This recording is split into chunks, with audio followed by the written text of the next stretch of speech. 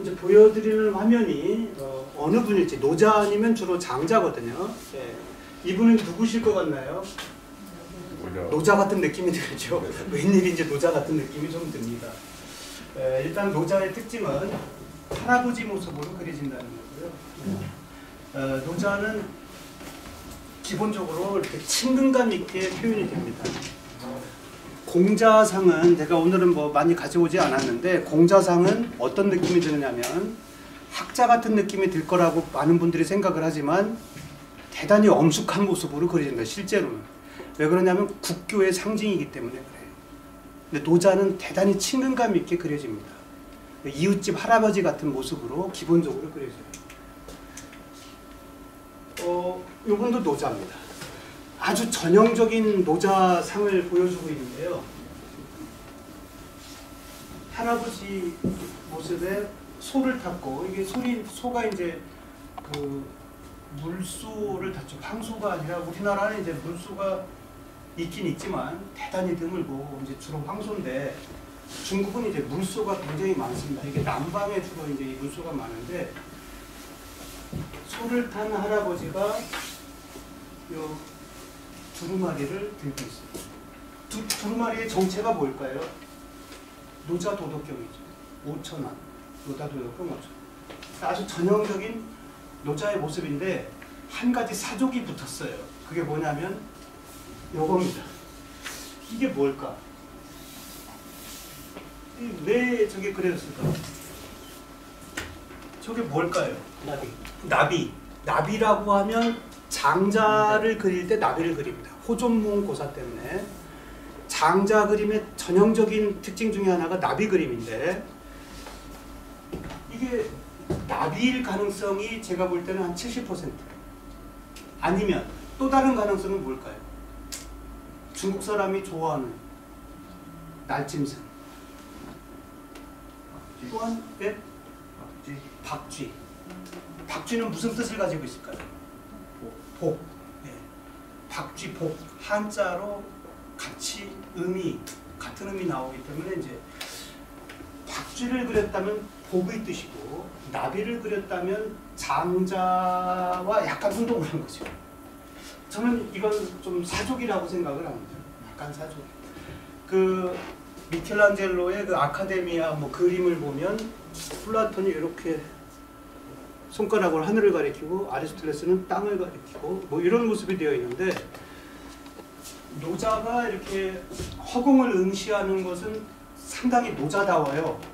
형이상학적인 도를 추구한다는 측면에서 상당히 노자다운데 그것이 박쥐나 나비를 쳐다보고 있다고 한다면 약간 사족이에요. 그러니까 아마 저 화가가 좀 그 사족을 그릴 것 같아요. 그 뱀을 그리면 그만인데 뱀에다가 다리를 그리는 여기 되고요. 노자 그리면 나비든 박쥐든 안 그립니다. 복을 뜻한다는 것은 이제 현실 속에서의 이제 복을 이야기하는 거지 도의 복을 이야기하지는 않죠. 박쥐가 복을 뜻한다는 것은 민간 신앙에서 이제 상징적인 도판으로 쓰여지는 거죠. 나비라고 한다면 장자와 혼동한 거고 복을 그렸다고 한다면 민간 신앙적인 요소가 들어간 건데 좀 어울리지는 않아요. 약간 저는 그 점이 어, 약간 좀 아쉽다는 생각이 듭니다. 이건 누굴까요? 좀 맞춰보십시오. 노자입니다. 약간 장자적인 느낌이 나는데 어, 조맹, 조맹구, 네, 조맹구가 그린 노자 그림입니다. 이렇게 자연인의 모습처럼 그려졌죠.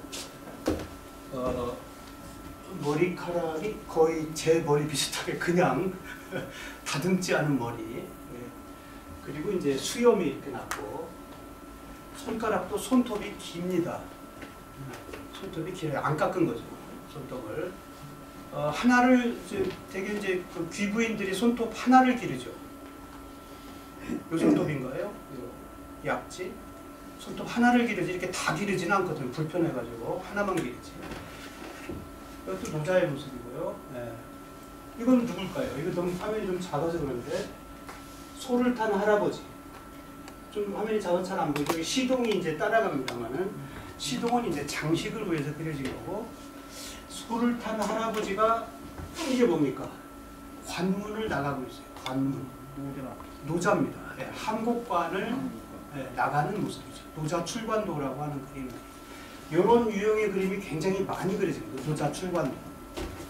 뚱뚱한 할아버지 모습 그려집니다. 이것도 노자입니다. 어, 소를 탄 할아버지가 두루마리를 들고 있어요. 손에. 저 두루마리를 들고 있는 것은 이제 약간 또 혼동을 일으키는 게 누, 누가 있느냐면 수성노인도 수성노인 목숨을 관장하는 수성노인도 저 두루마리를 가지고 있는 경우가 많은데 수성노인도는 이렇게 들고 있지를 않고 대개 지팡이 끝에다가 매달아 놓고 있어요. 그게 이제 인간의 수명을 관장하는 이제 그 책, 어, 책이죠, 책. 이거는 이제 도자 도덕경을 지금 들고 있는 거죠. 자, 이건 뭘까요? 뭘 그린 걸까요? 한번 추리를 해보십시오.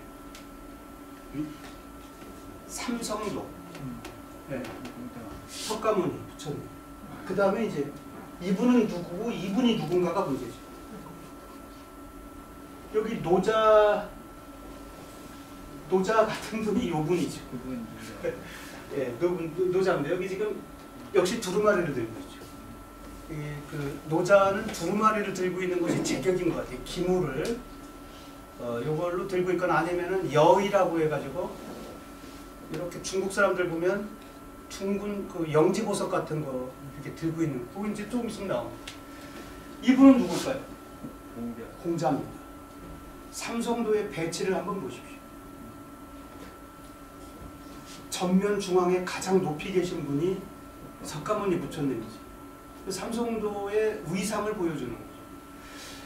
그 다음에 노자가 공자보다 약간 높이 예, 앉아 계시죠. 노자가 공자보다는 좀 위로 보는 거예요.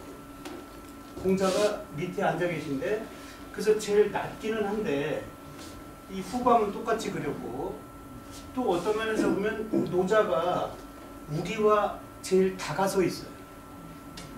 앞에 좀 나와 있어서 약간 큰 모습으로 그려져 있어요.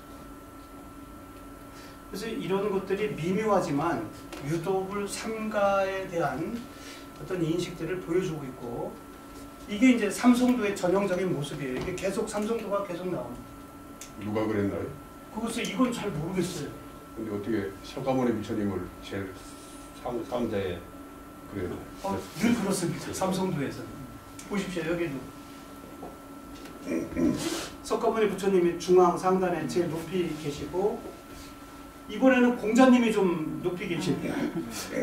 노자가 앉아 계신데 얼굴 모습이 굉장히 즐거운 모습이에요. 익살스러운 모습이에요. 굉장히 친근하게 있고 공자는 마치 나무라듯이 이렇게 엄숙한 모습으로 내려다보면서 노자를 이렇게 내려다보고 음, 공자를 높인 것 같은 느낌인데 제가 생각할 때는 꼬집은 것 같아요 공자를 잘난 척 그만하시라고 노자 웃고 계시잖아요 마치 어 저 무슨 저 뭐라고 할까 우리가 그 코미디언 무슨 저 그런 거 보고 있는 것처럼 웃고 있는 거죠 제일 낮은 자리에 이렇게 있지만 노자는 여유를 가지고 웃고 있어요 공자는 너무 엄숙해요 그죠 이것도 삼성도입니다. 석가모니 부처님이 있고 노자가 이 여기에 공자가 있습니다. 그런데 노자는 역시 문서를 들고 있네요. 이 문서는 뭘까요? 이건 동그란 원이 그려져 있어서 노자 도덕경 5천 원이라고 말하기는 좀 그래. 이게 그리다가 말았는데 되게 저게 태극도가 그려져 있어요. 태극도. 태극하면은 주역의 상징입니다. 주역하면 육아경전인데 삼성도에서는 거의 다 태극도를 노자가 들고 계시다는 거죠. 뭘 뜻하는 걸까요? 우리의 인식하고는 많은 차이가 있습니다. 우리가 알고 있는 주역이라는 경전이 육아의 아주 핵심적인 경전으로 알고 있는데 중국에서는 그렇게 생각을 하지를 않고 있다는 걸 알려주고 있어요. 주역이라는 경전은 굉장히 중요한 경전입니다.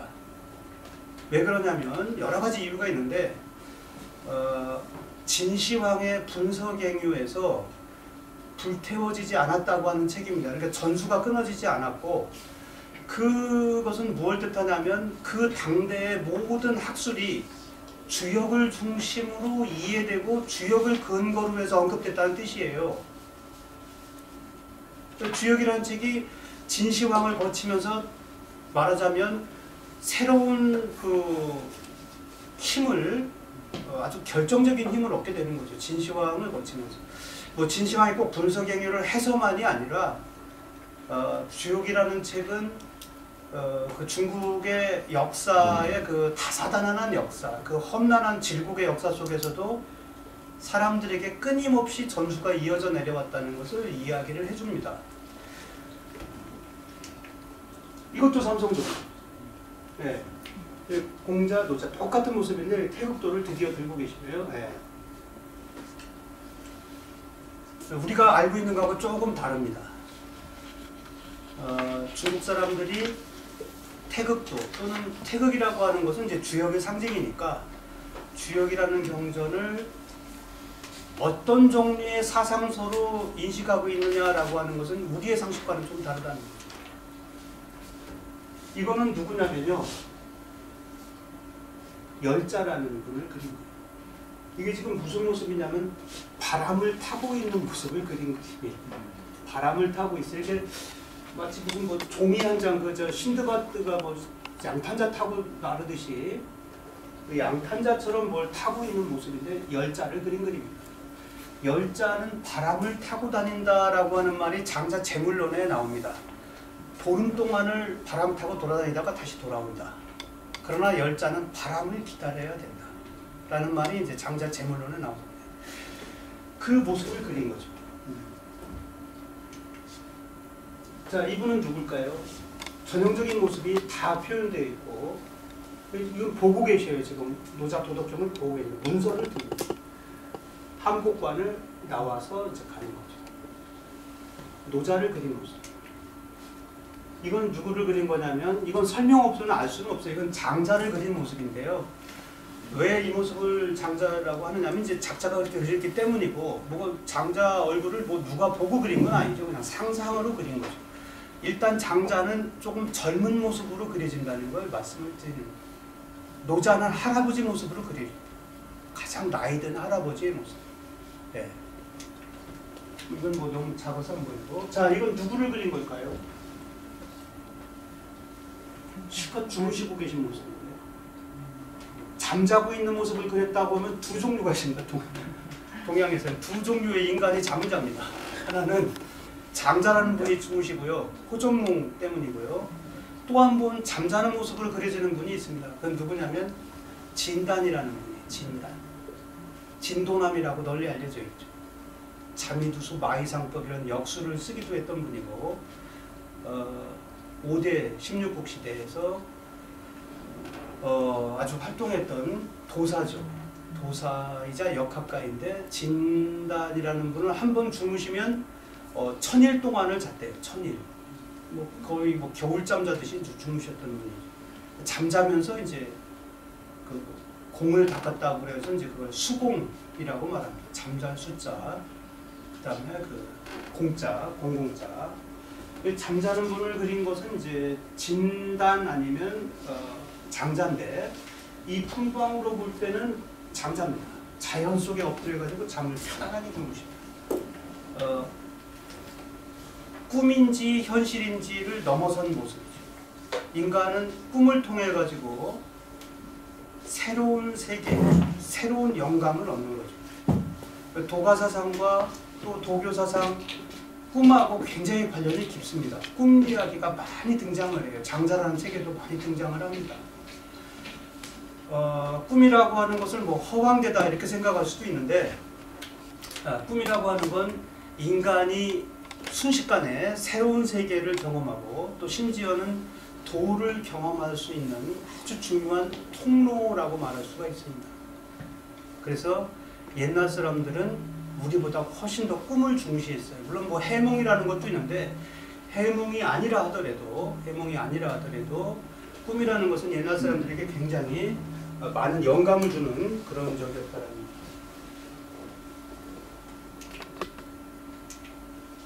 어, 여기 이제 장자성이라고 여기는 쓰여져 있네요. 아예 예, 이렇게 좀 젊은 모습으로 장년의 모습으로 장자가 그려진다는.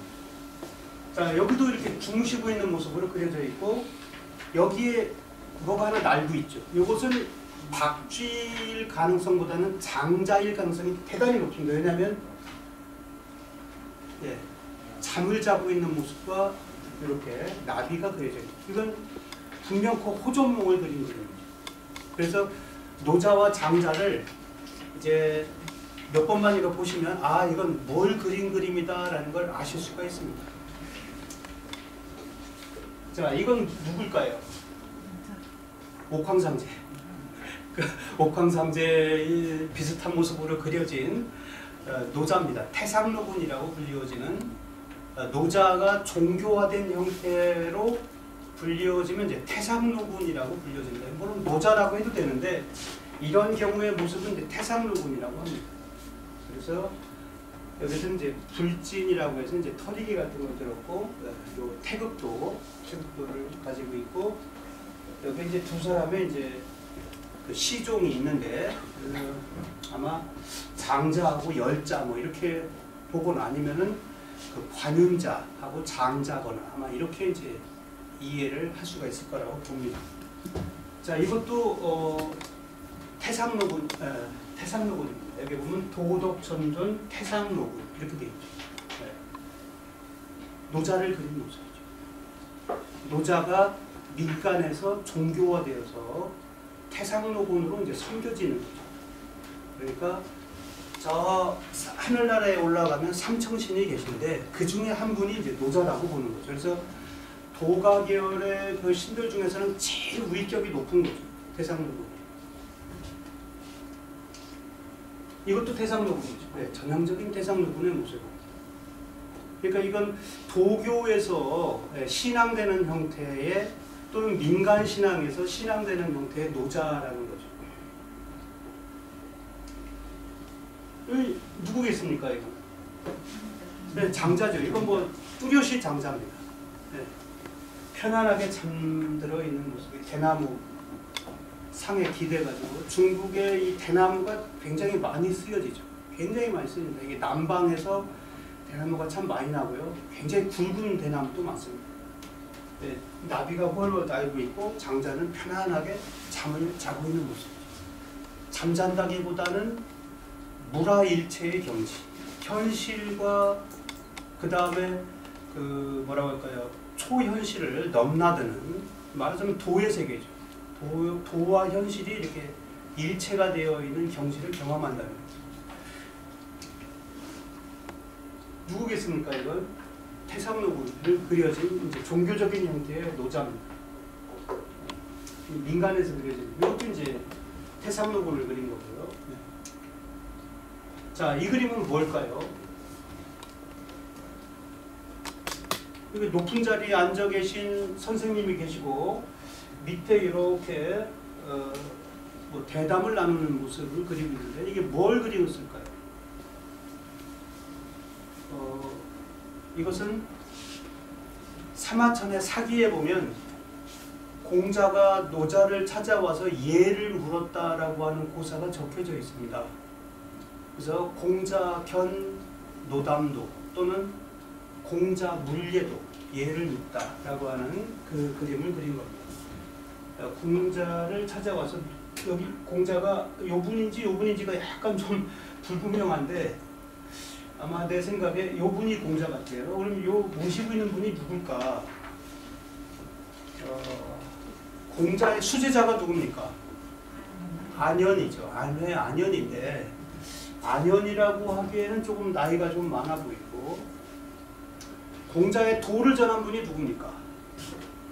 증자라는 분인데 이분이 증자일까 싶기도 하고 또 공자를 가장 가까이에서 끝까지 보셨던 사람이 누굽니까? 자공이라는 분이 있어요. 자공. 예. 자공일 수도 있고 증자일 수도 있고 안회일 수도 있고 또 공자를 옆에서 늘 호위무사처럼 따라다녔던 분도 있어요. 그분이 누굽니까? 자로입니다. 자로일 수도 있어요. 근데 자로라면 좀 우락부락한 모습으로 그려야 되는데 너무 공손해요. 자로라고 보기에는 아마 자공 정도가 아닐까 저는 생각을 합니다. 실제로 태산 곡부의 공자묘를 가서 보면 우리가 알고 있는 안회나 증자보다 자공이 훨씬 더 공자와 가까이 있습니다. 공자를 끝까지 지극히 모셨던 분이 자공이에요. 자공은 6년 동안을 심유사를 했다고 하는 거죠. 그리고 어, 좀 부유했대요. 그래서 공자의 어떤 그 물질적인 부분들을 많이 자공이 아마 이렇게 어, 제공을 했을 거다. 이렇게 이제 추측들을 많이 합니다. 그리고 실제로 공자 묘에도 가면 운막이 남아있고 자공 심효살이 했던 운막이 남아있고 공자 묘 앞에는 자공이 심었다는 그 나무가 그대, 그대로는 아니지만 죽어있는 고목나무가 보존되어 있어요. 뭐 지금부터 2500년 전의 일이지만 믿거나 말거나 아무튼 남아 있습니다. 그래서 많은 사람들이 그 사진을 찍죠. 자, 이건 김홍도가 그린 분선도입니다. 우리 어, 조선 말의 풍속화가 유명한 풍속화가죠. 자, 이 중에 노자가 어디 계시겠습니까? 바로 여기 있네. 우리가 지금 수많은 신선들이 있지만 바로 찾아낼 수가 있습니다. 소를 탄 할아버지가 이 두루마리를 들고 계신 모습. 전형적인 노자 모습으로 바로 찾아낼 수가 있어요. 이분하고 좀 음, 혼동되기도 하는데 단연코 이분이 노자라는 걸 알 수가 있습니다. 음, 김홍도가 그렸던 에, 그 당시 조선 후기에 신선이라고 하는 사람들이 이런 종류였을 것으로 김홍도는 생각을 한 거죠. 조선 후기 시대의 신선 사상을 보여주는 집약적으로 보여주는 명작입니다. 굉장히 흥미로워요. 네. 여기 그 두 분 여신선이 있고요. 네.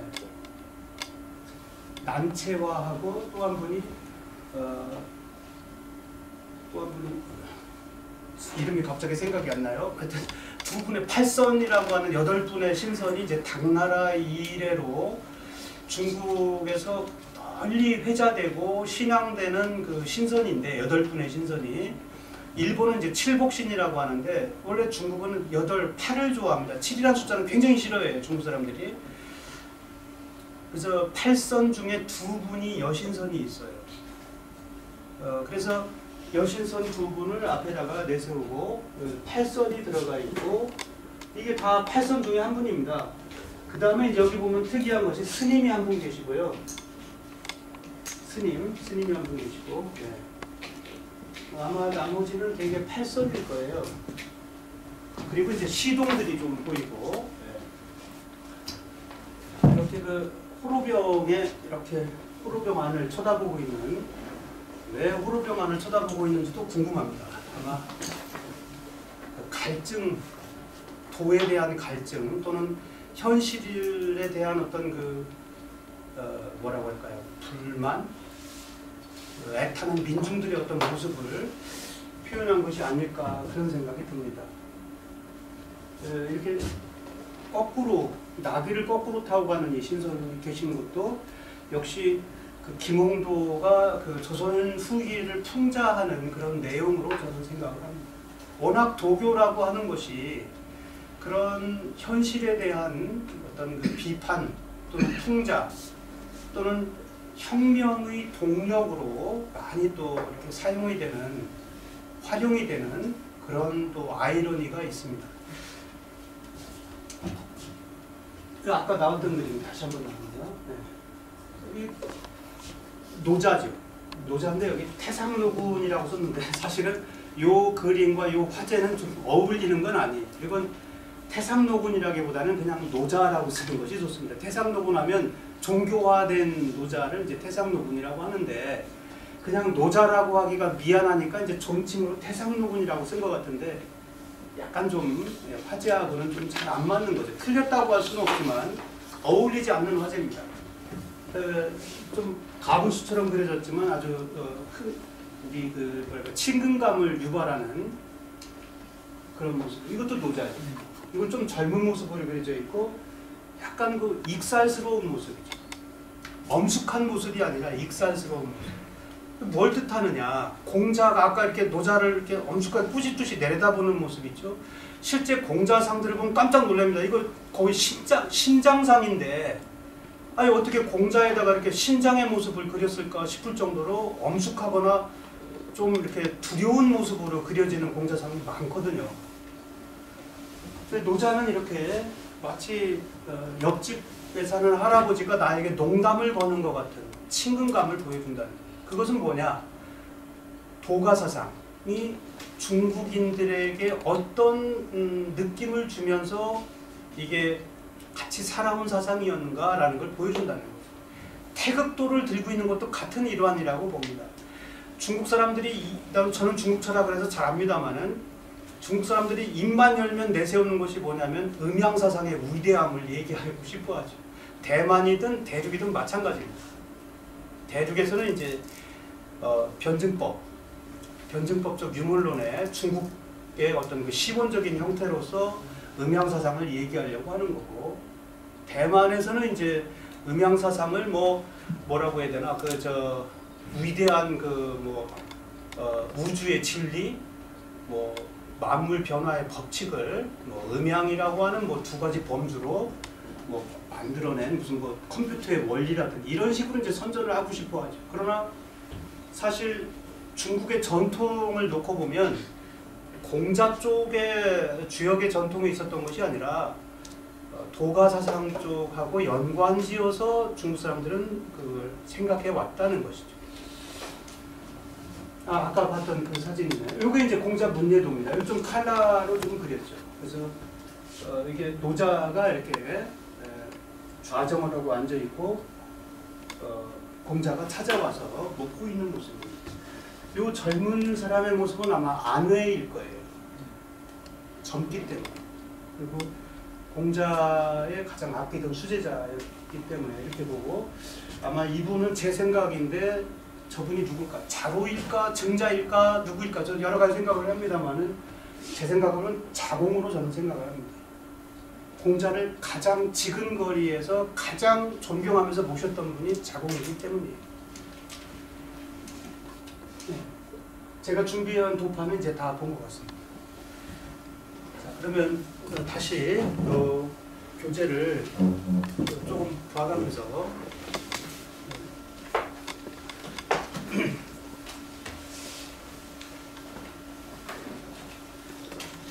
어, 뭐 질문이 있거나 뭐 하실 말씀이 있으면 서슴지 말고 해주시면 제가 또 어, 거기에 따라가지고 아는 대로 말씀을 드리도록 하겠습니다.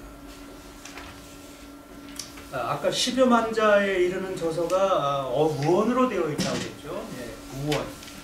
뭐 호존문 같은 경우에는 나비 이런 것들이 이제 장자 사상을 그 상징하는 중요한 그런 이제 그 개념들이죠. 어부, 도척, 거역 등을 지어서 공자의 무리를 비꼬았고 예, 공자 사상을 많이 이제 그 비판을 합니다. 그런데 사실은 장자의 책을 보면요, 공자를 비판도 하지만 공자의 입을 빌려서 도가 사상을 선전도 합니다. 그래서 공자를 일방적으로 비판했다고 말할 수는 없어요.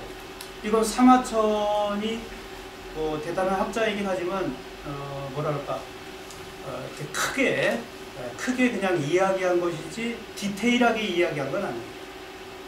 그 공자라고 하는 분은 선진 시대에 있어서 굉장히 중요한 사상가이면 틀림이 없어요. 굉장히 중요한 분입니다. 그리고 굉장히 성실했던 분이에요. 사람들에게 널리 알려져 있죠. 맹자와 장자 간에는 서로 언급을 하지 않았지만 장자는 공자 이야기를 굉장히 많이 합니다. 굉장히 많이 해요. 장, 공자를 주인공으로 많이 내세워서 이야기를 했어요.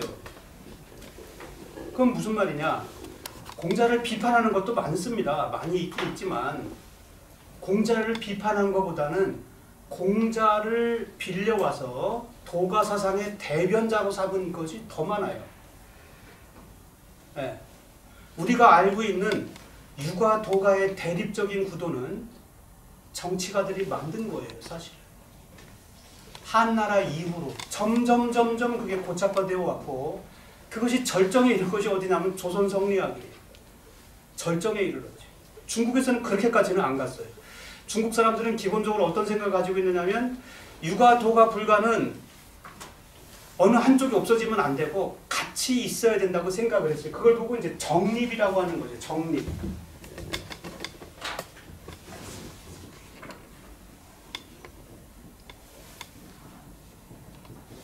정립입니다. 소점자, 설립자. 솥발처럼 선다는 거. 솥발은 몇 개입니까? 세 개. 세 개입니다. 세 개가 가장 안정된 숫자죠. 네 개면은 끄떡끄떡합니다. 세 개면은 안정돼서 탁. 예. 그래서 유도불은 솥발처럼 딱 서 있어야 사회와 문화와 사상 이런 것들이 안정된다고 생각을 한 거죠. 그래서 어느 한쪽이 한쪽을 타도하려고 한 적도 물론 있긴 있어요. 있긴 있지만 극히 일부입니다. 대부분은 다 인정을 해줍니다. 사실 우리가 알고 있는 아, 주자라고 하는 분, 예. 주자는 뭐 정주학, 주자학, 뭐 성리학의 뭐 직대성자고 공자 이래로 최고의 유학자죠. 뭐 그림으로 말하면 미켈란젤로 플러스 다빈치 정도고 어 뭐 하여튼 대단한 분이죠. 주자라는 분은 정말 대단합니다. 근데 실제 주자의 모습은 유도불 삼교가 몸속에서 체화된 사람이에요. 유도불 삼교를 전부 다 통틀은 지식인의 모습이지 유학자만은 아닙니다. 근데 우리는 그냥 유학자로만 알고 있어요. 순정한 유학자. 사실은 그렇지 않아요. 그냥 제 생각을 말씀드리자면 주자는 아마도 평생을 본인은 도사라고 생각하고 살았을 겁니다. 그 근거가 뭐냐? 아, 주자는 젊은 시절에 물론 그 불교에도 심취를 했지만 도교에 깊이 심취를 했어요. 그래서 청년 시절에 틈만 나면 산에 들어가 가지고 다리 개고 앉아 가지고 호흡을 하고 수련을 했어요. 도교 수련을.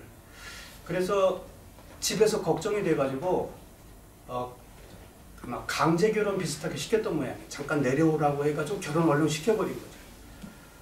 그러니까 어른이 내려오라고 하니까 내려오긴 했더니 갑자기 결혼을 하라 그래서 어, 명을 어길 수 없어서 결혼을 했어요. 그리고 나서 첫날 밤에 다시 산으로 도망쳤다는 거예요. 첫날 밤을 안 치르고.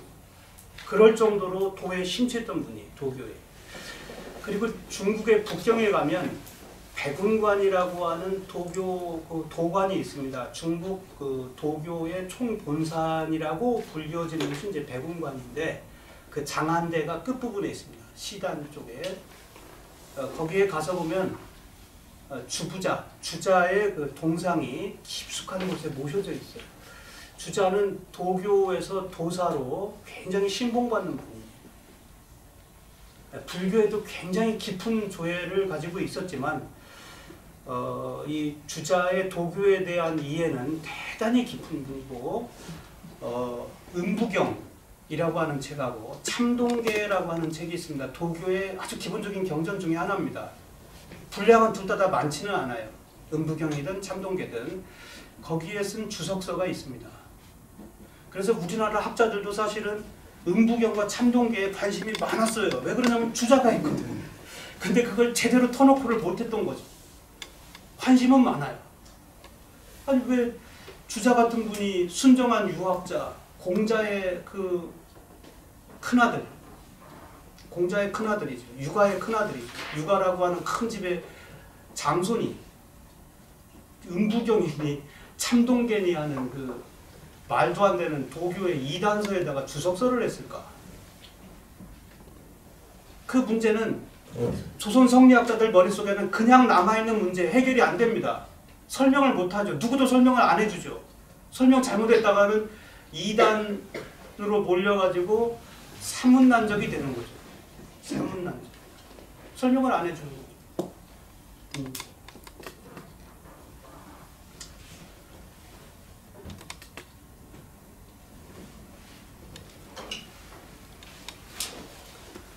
자, 공자의 무리를 비꼬았고 노자의 도술을 밝혔다라고 했는데 아까도 제가 말씀드렸다시피 노자 도술도 그냥 따라간 것이 아닙니다. 노자의 도와 장자의 도는 다릅니다. 아까도 제가 말씀드렸다시피 같다는 관점에서 보면 너무나 비슷하지만 좀 전문적인 눈으로 볼 때는 너무나 달라요. 어쩌면 노자와 장자가 이렇게 다른 생각을 할까 싶을 정도로 다릅니다, 사실은. 그래서 이걸 같다고만 말할 수가 없어요. 그러니까 사마천의 이 사기의 소설, 사마천은 물론 대단한 학자입니다만 그 당대 최고의 학자이면 틀림이 없습니다만은 이 글을 쓴 것은 그냥 대략적으로 쓴 것이고 구분을 위해서 쓴 것이죠. 예. 그 디테일한 측면은 우리가 알고 있는 것보다 상당히 복잡하고 미묘하고 또 서로 뒤엉켜 있다는 거죠. 실상은. 현실이란 건다 뒤엉켜 있는 거잖아요. 이렇게 분명하게 딱 구분되어 있는 게 있습니까? 우리들 머릿속에 구분을 하려고 싶어 하는 거죠. 이쪽은 적군, 이쪽은 아군 이렇게 구분하고 싶어 해요. 사실은 다 섞여 있어요. 알기 어려워요. 그리고 아까도 말했다시피 유가 도가를 자꾸 구분 지려고 한 것은 뭐냐면 정치가들이 그렇게 했다는 거예요. 정치가들이 그렇게 했어. 우리 같은 사람들의 입장에서는 구분할 필요가 없어요. 논어를 읽어보면 도가사상과 비슷한 측면들이 너무 많이 나와요. 이거 도가사상 노자 속에 집어넣어도 아무 문제가 없을 말들을 공자도 많이 했어요. 또 노자나 장자를 읽어도 아, 이거 뭐 공자 사상하고 뭐가 달라 이렇게 말하면 다를 바가 없는데 이런 생각들이 많이 드는 귀절들이 많다는 거죠. 실상은 이렇게 다 뒤섞여 있어. 그런데 그걸 구분을 하고 싶어 하는 거죠. 거기에 무리가 생겨나. 그 무리가 쌓이고 쌓여서 저는 조선 성리학까지 왔다고 보는 거죠. 중국에서 일어난 나비의 날갯짓이 조선 후기에 와서 폭발을 하는 거죠. 그 폭발이 어디까지 갔느냐? 저는 권해를 거쳐서 그 다음에는 어디로 가느냐면 서학으로 갑니다. 서학. 서학으로 가고 서학의 날갯짓이 동학으로 가고 뒤집어진 거죠. 네. 그럼 내부적인 사상의 그 노선상으로는 그렇고 실질적으로 조선이 멸망한 것은 이제 외부 어, 열강의 침입에 의해서 멸망하긴 했지만 내부적으로 손 쓸 수 없을 정도로 가버린 거죠. 네. 이걸 조선 유학의 위대한 점도 있지만 어, 잘못된 점, 단점도 저는 분명하게 얘기해야 된다고 생각을 합니다. 그냥 뭐 옛날 어르신들의 일이니까 다 그냥 좋게 좋게 얘기하자. 그런 거보다는 그냥 객관적으로 좀 어,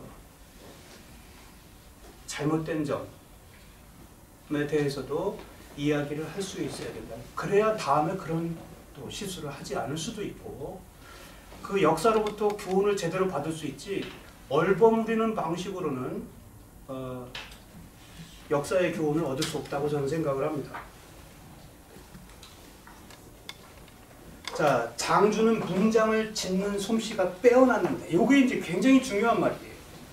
조선 시대에 어, 성리학자들이 또는 유학자들이 엄청 도가나 도교나 뭐 이런 데 대해서 비판했지만 장자라는 책을 남몰래 읽으려고 했고 끊임없이 필사를 하면서 연습을 했던 것은 문장이 뛰어났기 때문에 그 사상도 사상이지만 권해는 문장이 좋아서가 아니라 사상에 심취한 거.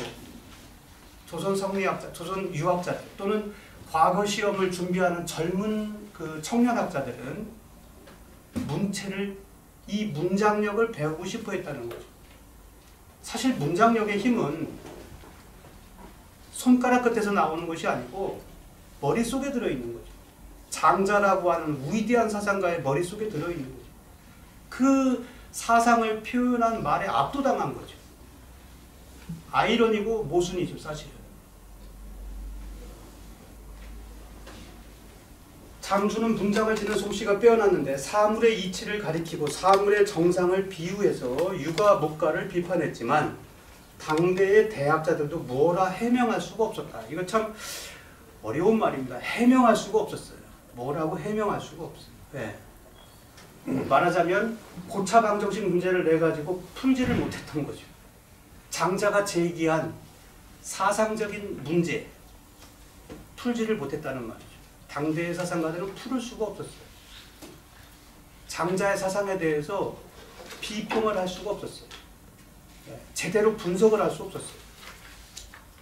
답변을 내놓지 못했다는 거예요. 그의 말은 거대한 파도가 치는 듯 자기 마음 맞는 대로 할 뿐이에요. 그냥 요새 말로 하면 애드립이죠, 애드립. 하고 싶은 대로 말을 다 해버리는 거죠. 왕후 장상들이 그의 재능을 기용할 수가 없었어요. 네. 사상이 뛰어난 것은 알겠는데 어, 그 왕후 장상들의 필요에 부응한 것이 아니었다 이 말이죠. 왕후 장상들이 원하는 건 뭐겠습니까? 이 당시에 한마디로 말하면 분명합니다. 왕후 장상들이 원했던 건 부국강병이죠. 부국강병. 공자는 부국강병이라는 명분을 빌려서 도덕을 실현하고 싶었고 병가는 직접적으로 부국방병을 이루는 기술을 가르쳐준다고 해서 어필을 하려고 했던 거죠. 그런데 장자 등의 도가류의 사상가들은 부국강병이라는 말 자체를 전혀 인정하거나 예, 그걸 받아들이면서 어, 그들에게 타협적으로 자신의 사상을 어, 이야기하고 싶어 하지 않았다는 겁니다. 그래서 기용할 수가 없었다는 거예요. 대표적인 얘기가 이제 그 초나라 왕이 어, 사신을 보내서 장자를 초빙하려고 하는 이야기가 널리 알려진 이야기입니다. 장자가 어, 강가에서 낚시를 하고 있는데 사신이 패백을 들고 와서 초청을 했어요. 우리 왕께서 장자 당신을 어, 크게 중용하고 싶어 하십니다. 같이 가시죠. 라고 초청을 했어요. 지금 같으면 정말 너무 좋아가지고 펄쩍 뛸 일이죠. 잘 됐다. 오늘이 오기를 얼마나 기다렸는가 이렇게 말한 사람이 누굽니까? 강태공이죠. 강태공은 그렇게 했죠. 고든 낚시. 10년 동안 내가 고든 낚시를 했는데 우유숲가에 앉아가지고 오늘 그때가 왔구나 하고 나가가지고 마음껏 재능을 발휘해서 이제 주나라 문왕을 무왕을 천자로 만들어 준 거죠. 그게 강태공인데 장자는 한마디로 거부했어. 네. 한마디로 거부했어. 뭐라고 말했느냐면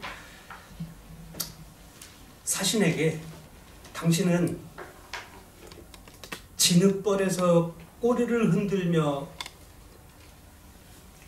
의기양양하게 사는 거북이가 되겠느냐 아니면 박제가 되어서 사당 위에 잘 모셔진 거북이가 되고 싶으냐 두 가지를 물, 답변을 물, 물었어요. 그러니까 사신이 아니 그 아무리 사당에 잘 모셔져서 매번 그 흠양을 받는 뭐 거북이가 된다. 그건 이제 주역점을 치, 어, 점을 치기 위한 도구로 이제 모신다는 뜻인데 시, 거북이가 신령하니까 그 목숨을 그렇게 버려가지고 내가 죽어서 그 거북점을 쳐줘야 뭐합니까? 그러니까 나는 그냥 진흙벌에서 꼬리를 흔들면서 하는 거북이가 되겠습니다. 이렇게 답변하니까 그대는 돌아가시오. 그리고 내 말을 당신 왕에게 전해주시오. 그리고 뒤도 돌아보지도 않았다는 이야기가 이제 장자에 보면 나오죠.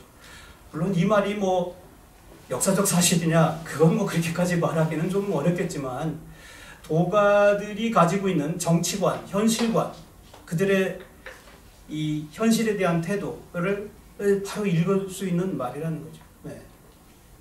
그 강태공은 오자마자 반색을 했어요. 네. 나를 드디어 알아주는 사람이 왔다.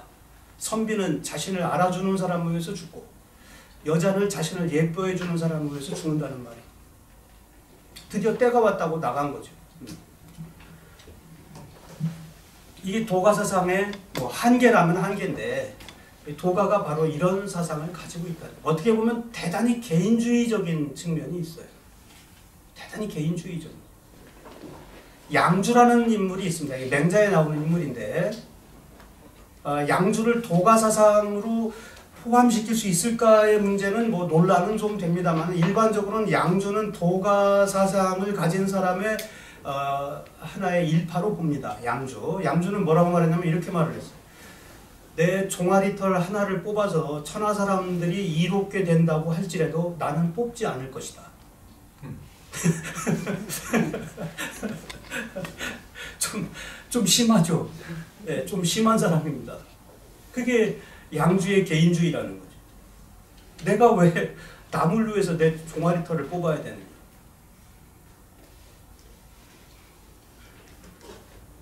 양조는 물론 음, 문제가 많은 사람이고 또 사실은 그렇게 발언한 건 아니에요.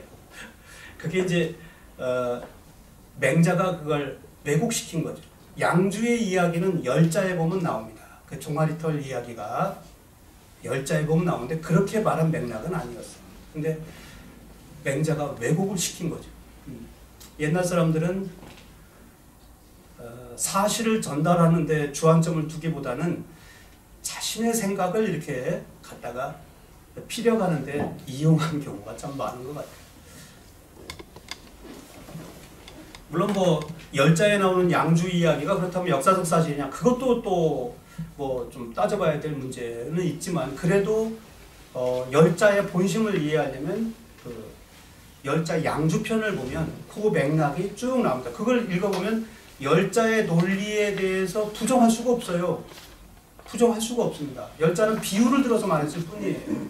근데 그걸 가지고 마치 열자 자신이 뭐 동아리털 하나를 뽑지도 않겠다라고 그렇게 뭐 사람들에게 호언 장담한 것처럼 예, 그렇게 얘기한 것은 맹자가 왜곡한 거죠. 약간 왜곡을 한 거.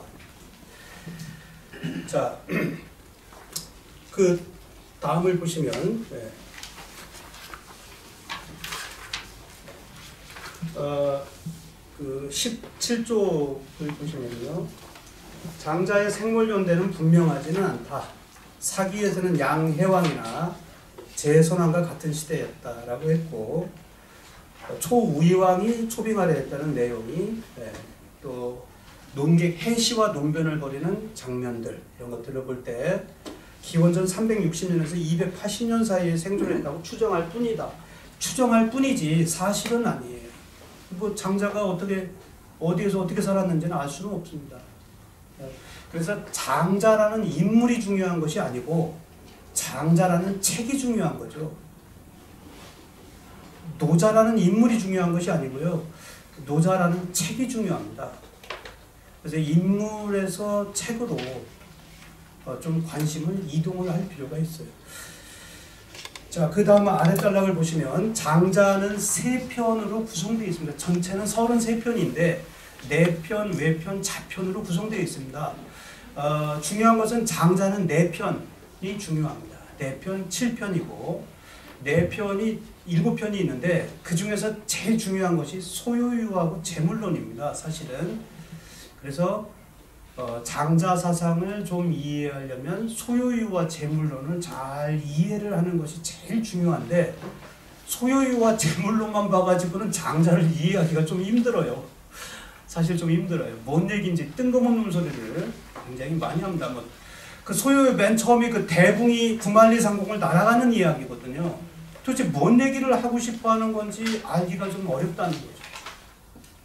그냥 그렇게 하고 끝나버려요. 그게 소요유의 사실은 그 원전입니다. 원문이 그렇게 생겨먹었어요. 그냥 북쪽 바다에 곤이라고 하는 거대한 물고기가 있는데 어, 그것이 붕이라고 하는 새로 변화해가지고 어, 6개월 동안을 구만리 상공을 날아가서 남쪽 바다로 간다. 그게 끝이에요. 그 날아가면서 하늘 위에서 아래를 굽어보니 이 세상이 먼지와 같고 아지랑이와 같더라. 그러면서 남쪽 바다로 날아간다. 네.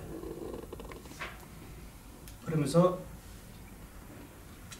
나이가 많은 것은 아, 나이가 적은 것은 나이가 많은 것에 미치지 못하고 많이 아는 사람에게 적게 아는 사람은 미치지 못한다. 이런 이야기를 하는 거죠. 좀 이해하기가 쉽지는 않습니다. 그리고 어, 아까 사마천도 얘기했다시피 사람들이 잘 어, 장자가 제기한 문제에 대해서 이게 뭔 얘기를 하고 있는 건지 거기에 대해 제대로 된 비평을 하지 못했다는 것도 어, 장자 사상이 이런 점에서 뭐 심오하게 보였다라는 것을 알 수가 있는 거죠. 자, 그 다음 쪽을 보시면요. 18쪽을 보시면 어, 두 번째 단락에 사면이라고 하는 개념이 나옵니다. 사면. 세 가지 현황, 사면이요. 어, 사면. 세 가지 현황인데 자, 일반적으로는 이제 주역하고 노자장자를 사면이라고 하는 거죠. 주역하고 노자장자. 또는 뭐 노자장자와 더불어 주역 이렇게 말할 수가 거예요. 어, 도가에서는 노자장자, 유가에서는 주역 이렇게 될 수가 있는데 아까 삼성도를 보니까 주역이라는 책이 유가의 소속이 아니었을 수도 있어요. 주역하고 노자장자는 다 사실은 도가서예요. 주역이 도가서라는 증거는 백서주역이라는 책이 있습니다. 백서주역. 한나라 초기 BC 128년에 땅 속에 장사라는 지역에 묻혔던 죽간이 발견됐어. 발굴이 됐죠. 문화대혁명이 한창이던 때 제철소를 지으려고 땅을 파다가 뻥 하고 뚫리면서 동공이 생겼어요. 그래서 들여다보니까 뭔가 회벽이 보이고 관이 들어있어요. 그래서 신고를 해가지고 발굴된 것이 1973년 백서 마왕태, 아, 마왕태, 장사 마왕태의 그 여러 그 문물들이 발굴이 됐죠.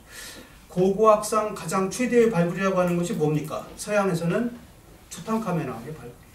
동양에서는 제가 생각할 때는 백제 금동대왕로도 있고 어, 무령왕릉 발굴도 있지만 그보다 조금 더 많은 문물이 나온 것은 어, 이 장사 마왕태의 그 발굴입니다.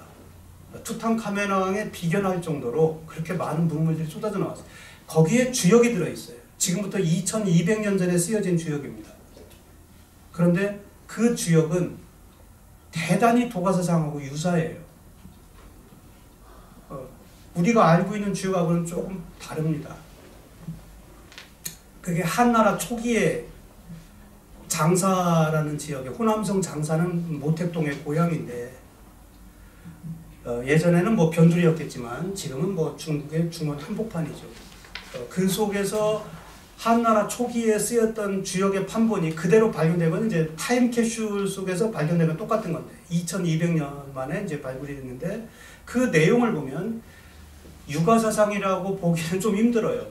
상당히 도가적입니다. 뭐 거기에 대한 이제 논란은 좀 많이 있지만 제가 볼 때는 그렇고 도가적이라는 것은 누구도 부정할 수는 없어요. 네. 현행본 주역보다 자 아무튼 음, 삼현이라고 하는 것은 주역과 노자장자를 들기도 하고 어, 또 주역하고 노자하고 논어를 들기도 합니다. 네, 논어를 장자 대신에 논어를 드는 사람도 있어요. 삼현학이라고 하는데 그래서 어, 동양 사상에서 가장 중요한 세 가지 원전, 가장 중요한 철학서, 가장 기본이 된다고 할까 근본이 되는 철학서는 삼현이라고 보는 거죠. 네. 그 오늘날 뭐 우리나라에서는 한동안 뭐 논어 열풍이 불어가지고 뭐 전부 다 논어만 이야기를 했는데 사실 어, 노노는 읽으면 어, 다른 글들보다는 그래도 이해하기가 좀 편합니다. 그러다 보니까 이제 논어를 많이 이야기를 하시고 하시지만 실제로 철학적인 좀 마인드를 가지고 동양 사상이 뭐 중국 사람들이 무슨 생각을 가지고 살았고 우리 선조들이 무슨 생각을 가지고 살았는지 알고 싶으면 노자나 장자를 읽어보는 것이 저는 훨씬 더 좋다고 생각을 합니다. 이게 읽기가 어려워서 그렇고 읽는 법을 잘 몰라서 그래요. 자, 그래서 사면이라고 하는 개념, 예, 이게 중국을 대표하는 아, 가장 지성적인 글입니다. 주역과 노자 장자. 얼마 전에 내셔널 지오그래피인가 거기서 보니까 어, 인류 인류에게 가장 큰 영향을 미친 세, 10가지 책인가 거기에 동양 고전으로 노자가 꼽히는 걸 봤어요. 뭐 어떤 기준으로 그게 꼽혔는지는 잘 알 수는 없지만 하여튼 뭐 노자라는 것은 서양에서도 어 굉장히 관심을 갖고 바라보고 있다는 것을 보여주는 거죠. 뭐 주역도 많은 사람들이 보긴 봅니다만은 사실 서양 사람들이 보는 주역은 한계가 있어요. 어 말하자면 원의를 이렇게 주역과 주역의 원의를 이해하는 것이 아니라 자꾸 자기들 식으로 이해한 대로 번역하고 그걸 가지고 또 자꾸 그 재생산을 하는 거죠. 예. 옥상 가옥이죠. 어, 집 위에다가 어, 집을 짓고 또 그 위에다 또 집을 짓고. 어, 요새는 그렇게 해야죠. 아파트를 사려니까. 근데 옛날에는 그렇게 하는 걸 참 부질없다고 했어요. 집은 그냥 내가 사는데 땅에다가 집을 짓고 살면 되지 그 위에다 또 집을 짓느냐 이렇게 생각하는데 서양 사람들이 그런 격이죠. 뭐 칼 융이 어, 주역에 대해서 많은 이해를 했다고도 하고 뭐 심리학적으로 주역을 이용해서 심리 치료도 했다고 하지만 제가 볼 때는 너무나 많은 오해의 투성입니다. 어, 주역을 그렇게 뭐 신비적으로 접근할 수도 뭐 있긴 있지만 그것은 주역의 원의로부터 점점 점점 멀어지는 거예요. 예. 동양을 자꾸 이상한 신비의 구렁텅이로 만들려고 하는 거죠. 자, 과거 장자는 그 세 번째 단락을 한번 보십시오. 지식인의 필독서로 애독되었고 그에 대한 주석도 상당히 많이 전해져 온다. 아, 장자 주석서 생각외로 많이 있습니다. 아, 대작인데 많습니다. 노자는 5천자라고 합니다. 5,230여 자 뭐 이렇게 되고요. 장자는 10만 원이라고 하죠. 10여만 원. 뭐 노자에 비하면 한 뭐 20배가 되는 건가요? 네. 전통시대 장자 주석들을 집서, 집대성한 것으로는 엄영동이 편집한 무구비제 어, 장자 집성이라는 책이 어, 최대의 주석들을 모아둔 총서입니다.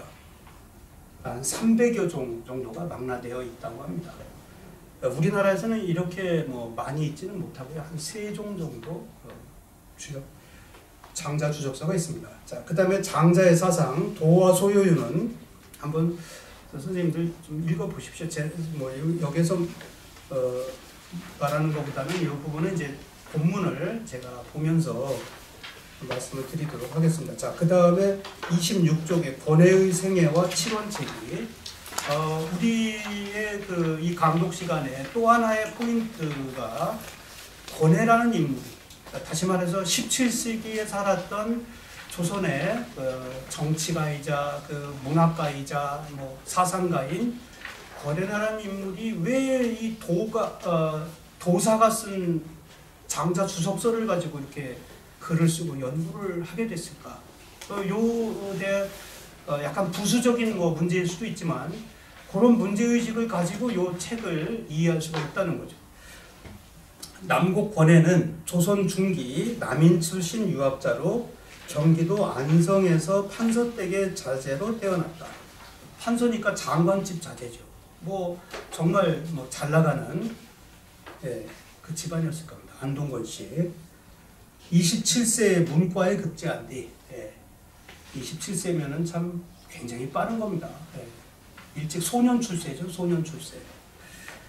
일찍부터 벼슬길에 올라서 여러 관직을 역임하면서 승승장구했어요. 음, 남인이란 뒷받침이 있고 예, 또 집안도 좋고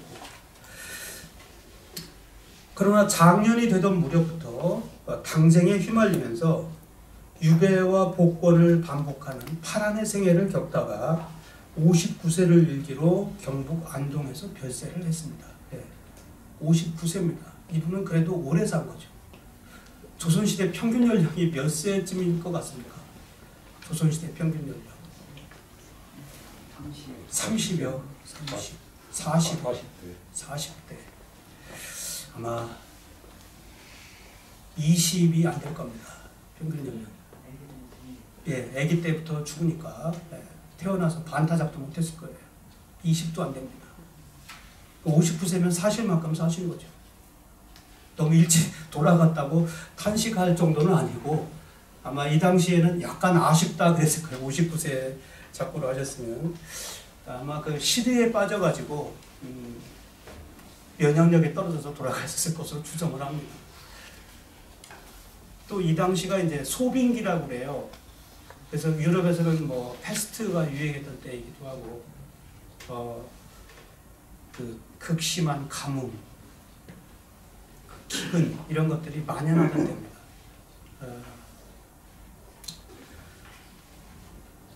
이 책 치원책기는 42세 되던 해 1680년 어, 경신 대출적으로 평안북도 창성에 귀향가 있는 동안 명말의 도사 육서성의 남화진경 등록을 저본으로 삼았습니다.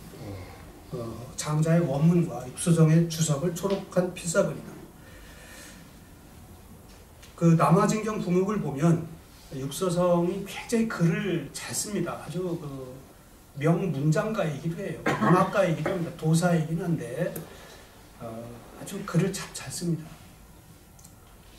유학사상의 깊은 이해를 가지고 있을 뿐더러 뭐 전통 시대에 글을 잘한다고 하면 유학을 당연히 먼저 공부를 했죠. 예. 뭐 말하자면 사서삼경부터 시작을 한 거죠. 자주 불교를 인용하고 있어요. 유도불 삼교를 다 잘하는 분이에요. 그러니까 학자로서 어, 도사가 된 분이라는 걸 알 수가 있죠. 육서성이라는 분은. 어, 사실 육서성은 이 명말 청초에 살았던 인물인데 어, 그 당대에는 널리 알려진 분이 아니었어요. 묻혀져 있던 분입니다. 명말 청초라는 게 뭡니까? 그 한족에 세웠던 명나라가 망하고 만주족이 쳐들어와서 휩쓸었던 때죠. 만주족이 들어오기 전에 이자성의 난으로 엉망진창이 됐었던 때죠. 그런 때였기 때문에 이 위대한 사상가들이 제대로 빛을 못 보던 그런 시대였죠. 어떠한 연유로 이분의 글이 남의 권, 음, 어, 남곡 권에 이 선생님의 손에 들어갔던 거죠. 이 남곡은 북경에 사신을 갔다 온 적이 있어요. 저는 그때 구입해 왔을 것으로 봅니다. 그때 이제 사신으로 가는 것이 굉장히 힘든 여정이긴 하지만 아마 한 두 달 가까이 가야 될 거예요. 한 달 보름이나 이 정도 이제 육로로에서 가거나 해로로 가는데 보통 육로로에서 많이 갔죠. 해로가 더 위험했던 모양이에요. 아마 해적들 때문에. 그래서 북경에 갔다 오는 것은 이 그 조선의 그 문신들로서는 대단히 영광스러운 일일 뿐만 아니라 현실적으로도 굉장히 큰 도움을 줍니다. 그게 뭐냐면 어, 말하자면 사신을 갔다 오면서 물건을 사가지고 와요. 그래서 조선에서 팔면 거액을 남길 수 있습니다. 굉장히 큰 그걸 뭐라고 해야 되죠? 밀무역이라고 할 수가 있을까요? 그걸 뭐라고 명칭을 할지는 잘 모르겠는데 아무튼 요새 말하면 외교 행랑을 통해 가지고 어, 물건을 사가지고 어디서 파는 거죠. 그 중에 이제 굉장히 중요한 학자들의 그 어, 구매 물품 목록이 이제 책이죠. 어, 책이 굉장히 중요하죠. 조선 시대에는 어, 이 지식의 갈증에 아주 그 목말라 했던 어, 그런 시대였던 것 같아요. 그게 우리 조선의 저는 힘이라고도 생각을 합니다. 그냥 뭐 이렇게 살다가 가지 뭐 사사성경을 외우다 살다가 가지 뭐 이럴 수도 있는데 북경에 갔다 오면서 어, 새로운 음, 문물을 접하고 새로운 책들을 가지고 그래서 서학이 들어온 거죠. 마테오리치도 그때 들어갔고요. 사신들을 통해 가지고 더 큰 세계가 있다는 걸 알게 되고 청나라가 결코 오랑캐라고 무시할 수만은 없다는 것을 많은 사신들이 깨닫고 오기 시작을 합니다. 그게 이제 17세기죠. 어, 임진왜란 병자호란을 겪으면서 예, 그또 당쟁이 극도에 다다르면서 이제 그런 뭐라고 할까 제 생각으로는 울분 울분을 청나라에 대한 복수심으로 이렇게 좀 정치가들은 이렇게 이렇게 좀 섞으려고 했지만 사실 북경을 갔다 온 사람들은 생각을 거의 다 바꿔버렸어요. 북경을 갔다 오면 바꿉니다. 이게 조선이 우물 안의 개구리고 조선이 청나라를 칠 문제가 아니라 먼저 청나라의 그 발달된 문명을 받아들여서 조선부터 부강하게 한 뒤에 뭐 다른 얘기를 해야지 아무것도 없으면서 당쟁밖에 한 것이 없고 임남 병난에 쑥대밭이 돼버린 것밖에 없는데 뭔 복수예요 복수는 말도 안 되는 소리였죠 제가 볼 때는 뭐 찻잔후에 탁자후의 태풍인가 찻잔후의 태풍도 못 돼요 사실은 그냥 해본 소리지 예. 군대도 없었잖아. 군대도 없었고요. 예. 말도 안 되죠. 그저 양반전에 보면 그, 그 누굽니까 그 허생전 허생이 허생이 아주 신나게 얘기를 하죠. 도대체 이완 대장 당신은 무하는 놈이냐 이러면서 호통을 치고 칼을 빼들으니까 이완 대장이 주랭랑을 치는 북벌한다고 말은 해놓고 준비는 아무것도 없고 북벌은 무슨 북벌이에요. 그 관념적인 대명의리론 그리고 어, 병자호란 때 삼존도의 굴욕에 대한 복수심 뭐 잊지 않는 건 좋은데 그것이 정책적으로 그런 식으로 간다는 것은 불행이죠. 그 시대에 권해가 있었던 분이죠. 권해는 사신으로 갔다 온 분이고 신문물을 접했던 분이에요. 어, 뭐 이 권해라는 분도 남인의 굉장히 중요한 어, 그 뭐랄까요 당쟁의 책임가 책임자이죠. 뭐 벗어날 수는 없어요. 벗어날 수는 없지만 저는 그래도 이분은 약간 좀 깨어난 분이라고 생각을 합니다. 아 이렇게 우리가 정주학이라는 거, 주자학이라는 거 사실은 주자학도 잘 몰라요. 아까 말씀드렸죠. 주자가 왜 은부경과 참동계의 주석을 썼고 그렇게 젊은 시절에 도교에 심취했는지 그리고 주자의 그 고향인 무의를 한번 가보면 주자의 생각을 조금이라도 이해할 수 있을 텐데 거기는 도교판이에요. 도교와 불교판이라고. 예. 구비구비가 도관과 사찰로 가득 차 있어요. 근데 우리는 친정한 유학자로만 생각하고 있는 거죠. 주자의 본래의 생각은 무엇이었는가? 주자는 정말로 그 시대에 무슨 말을 하고 싶었는가? 주자의 철학적 문제의식은 무엇인가?에 대한 진지한 성찰이 얼마나 있었는가? 하, 그냥 그냥 주자를 내세워서 어, 예 지금 이 정권 지키고 예, 그러려고 한 것은 아니었는가? 중국의 주류 학문도 아니었지 않습니까? 뭐 그렇게도 볼 수도 있습니다. 네. 뭐 명나라 이후로는 사실은 중국에서는 이제 양명학이 네, 주자학보다는 사실은 더 훨씬 힘을 갖고 있었고요. 양명학이 힘을 받은 이유는 양명학은 불교와 굉장히 친연적인 부분도 있고요. 어, 탈유교적인 성격을 저는 가지고 있다고 봅니다. 이게 이제 근대적인 모습이냐 아니냐는 제가 말씀드리기는 좀 어려운데 근대성까지 말할 수 없을지는 몰라도 탈유교적인 모습, 간이 직절한 도를 구하는 그런 모습들이 중국 사람들이 어필한 것. 주자는 너무나 방대합니다. 정주학으로 가면 너무 방대해서 이거 뭐 저 어 그냥 어 뭐라고 할까요? 책들의 파도 어 그 바다 속에 그냥 예, 파묻혀 버리는 거죠. 뭐가 뭔지 갈피를 잡을 수 있었겠느냐? 저는 갈피를 잡을 수 없었다고 봅니다. 갈피를 잡을 수가 없었어요. 조선 성리학이 이기 성정론의 문제, 사단 칠정의 문제를 가지고 천착을 했어요. 그게 주자학의 본령입니까? 저는 그렇게 생각 안 해요. 주자가 사단 칠정 얘기하려고 그거 한 건가요? 저는 그렇게 생각 안 합니다. 그냥 그 단서를 잡은 거라고 봅니다. 단서를 잡고 거기를 그냥 간 거지. 우리가 그렇게 생각하고 싶었던 거지.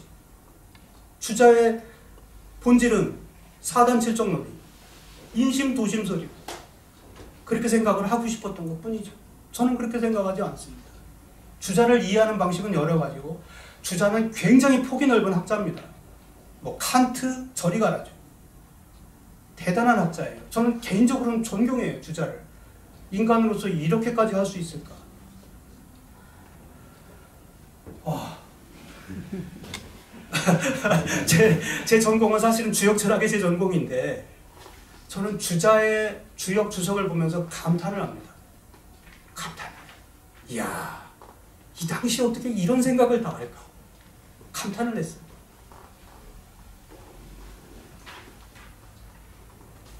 어, 주자의 좀 이렇게 다양한 측면이라고 할까요? 또는 근본적인 문제의식이 뭐였는가를 얼마나 천착하고, 에, 얼마나 분석하고, 얼마나 몰두를 했는지 저는 물어보고 싶다는 거죠.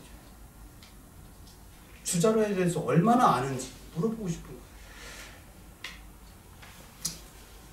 주자의 저서는 참 방대해요. 사실 한평생 읽기도 좀 벅찹니다. 굉장히 많고 또 그 성리학이라고 불리워지는 성리학이라고 하는 카테고리에 있는 수많은 학자들이 남긴 저서들이 굉장히 많습니다. 그분들이 특징이 뭐냐면 다작가들이 다작가 불행하게도 불행인지 다행인지 다작가입니다.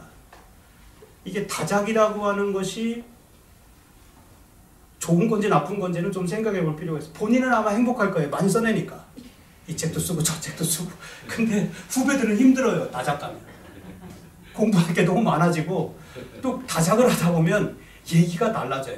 초기, 중기, 후기 다 다릅니다. 많이 쓰다 보니까 당연해요. 저도 논문을 쓰다 보니까 지금가 지금에는 10년 전에 썼던 논문을 굉장히 후회합니다. 아, 내가 그때 왜 썼지? 차라리 쓰지 말 걸. 아무리 그- 급하다고 해도 그 평점 몇 개 받으려고 그걸 내가 왜 썼을까? 되게 후회해요. 저 같은 사람도 그러하거늘 그런 학자들은 더 하겠죠. 왜냐하면 속도가 빠르고 범위가 넓기 때문에 더 하겠죠. 굉장히 폭이 높습니다. 예, 주자라고 하는 건. 어, 아마 중국 사상사에서 주자 같은 인물은 그 사람밖에 없을 거예요. 이건 당연한 얘기죠. 그 사람밖에 없죠. 주자는 그 사람밖에 없죠. 주자는 그 사람 하나뿐이니까. 에, 우리 백화점에는 물건들이 많아서 없는 것 빼고는 다 있어. 이 말이랑 똑같은 말이죠.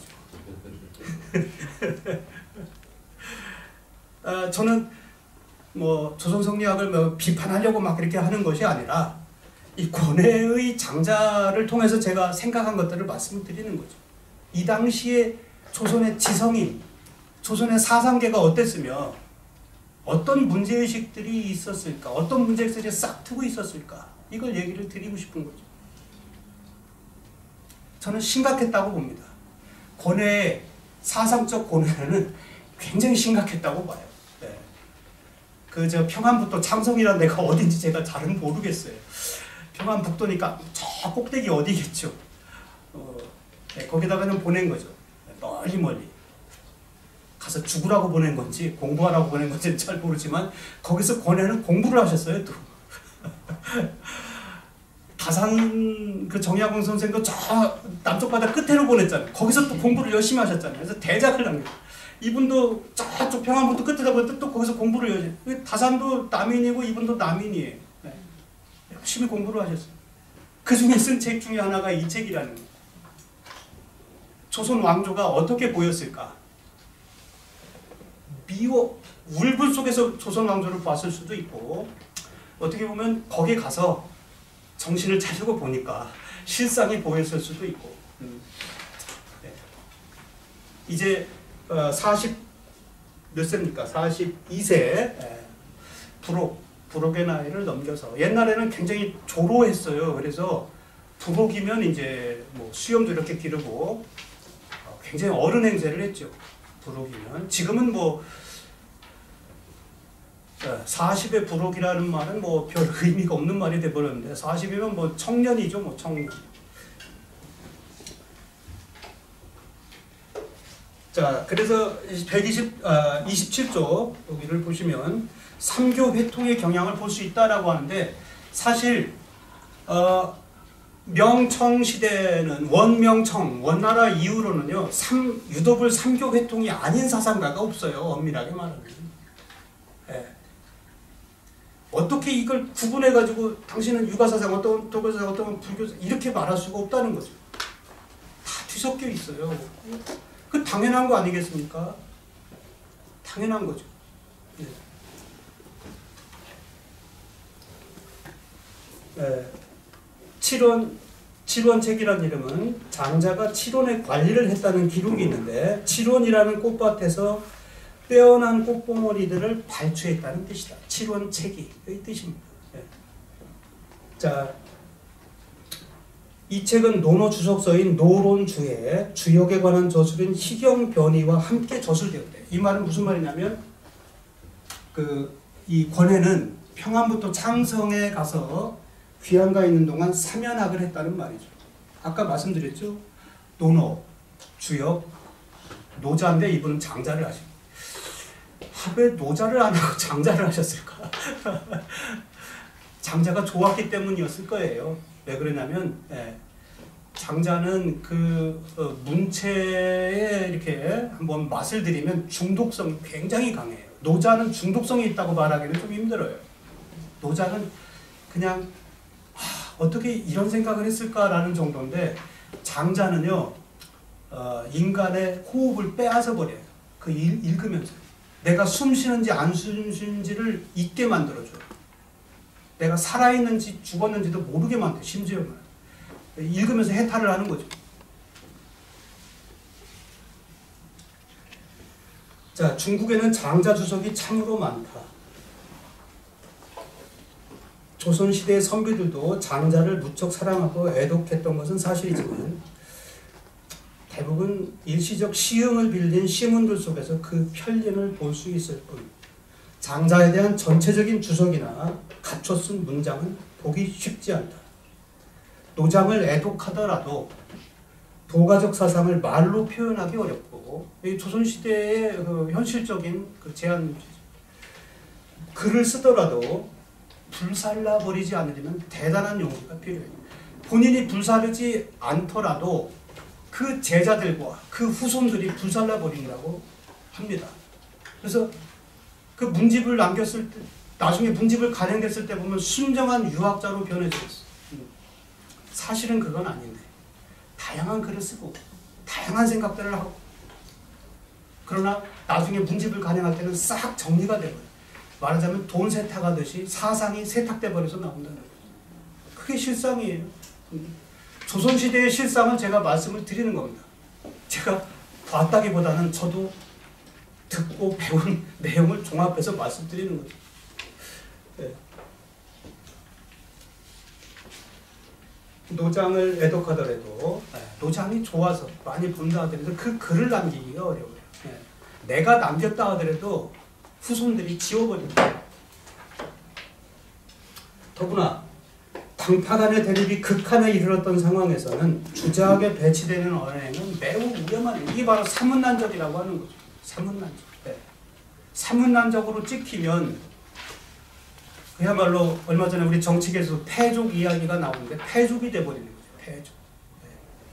역적 역적하고는 좀 달라요. 역적은 이제 법적으로 언도를 받아야 되고 사문난적은 사상적으로 그냥 규정을 당해버리는 거죠. 몇, 몇 명이 있어 사문난적. 네. 패족이 돼버립니다. 사상 불온한 사상. 그러니까 어, 이 조선 사회가 용납할 수 없는 불온 사상을 가진 사람이죠. 사문난적.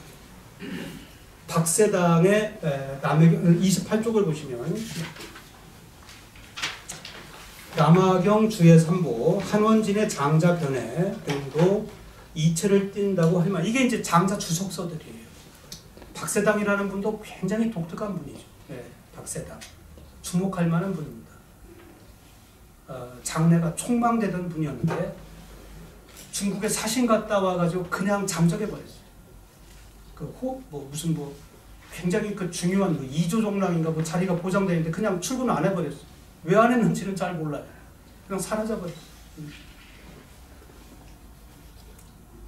이체를 띈다고 할 말. 그러나 이들은 장자를 유교식으로 이해하거나 아예 유교의 관점에서 장자를 비판한 것으로 도가사상에 대한 순수한 관심이라기보다는 장자에 대한 유교적 시각을 보여주는 것이다. 그러니까 어, 장자를 빌려서 유교를 이야기하려는 것. 또는 또 하나의 가능성은 뭐냐면 장자를 그냥 고지고대로 말할 수 없으니까 이렇게 비판하는 식으로 연구를 하는 거죠. 속마음은 저쪽에 있는데 겉으로는 비판을 하는 것일 수도 있어요. 그건 읽어야 돼, 행간. 대단히 어렵지만 행간을 읽어봐야 돼.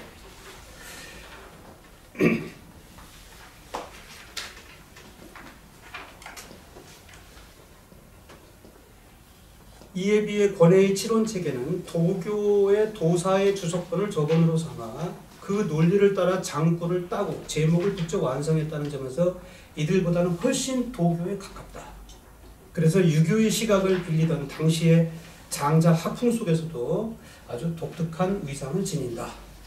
어쩌면 용기 있게 이런 글을 남길 수 있었던 것을 보면 그는 아마 강인한 어떤 신념에 찬 인물이 아니었을까 그렇게 추정을 해봅니다. 어, 이걸 뭐 널리 알리려고 쓴 것이 아니라 혼자서 이렇게, 정리를 했다 손 치더라도 이런 글을 불살라 버리지 않고 남길 수 있었던 것 자체가 대단히 큰 용기가 필요했다는 거죠. 네. 조선시대 이 사상가들은 어, 굉장히 힘들었을 것 같아요.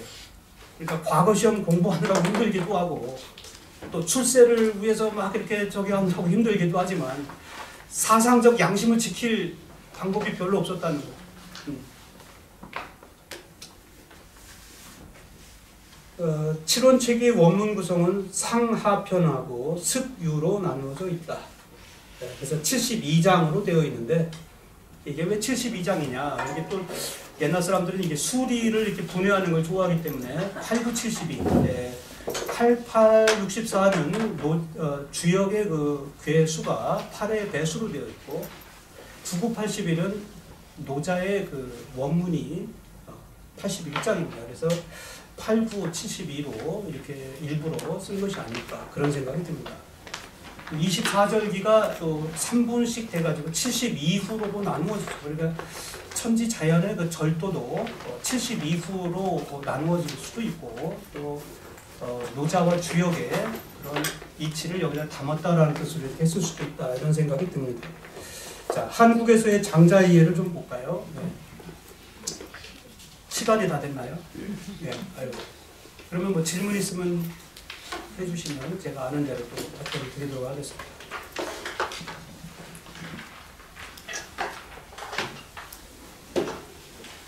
아, 제가 가져온 책 이게 이제 어, 가석 선생님의 이제 장자 강의를 박용호 교수님이 이제 이걸 어, 정리한 거고요.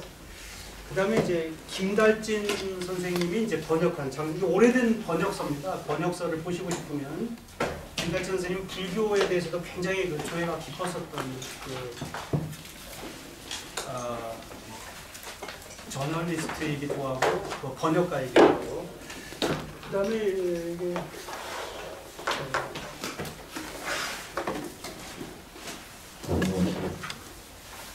송지영 선생님이 번역한 책입니다. 이게 다들 오래된 번역서인데요. 어, 오래된 번역서들이 저는 좀 어, 좀더 성실하게 이렇게 그 뜻을 파악하려고 많이 하지 않는가 이런 생각이 듭니다. 그리고 이건 이제 안봉림 선생님이 번역한 장자 번역서인데 어, 이것도 이제 좀 읽고 볼 수 있는 그런 번역서라고 저는 보고요. 그리고 이제 어, 노자 장자 선장본을 이제 가지고 네. 이렇게 이제 중국에서는 이제 노자 장자를 이렇게 해서 이제 조금 예쁘게 만들어 가지고 이제 보관하려고 네, 선장본으로 네. 그리고 이건 이제 제가 번역한 책인데 어, 왕필 주역하고 예, 도교의 주역 여기 있고 한국의 신선 뭐 이런 책도 있습니다. 예. 음. 또뭐 질문 같은 거 하실 거 있으면 예, 말씀해 주시면 제가 것 말씀드리겠습니다.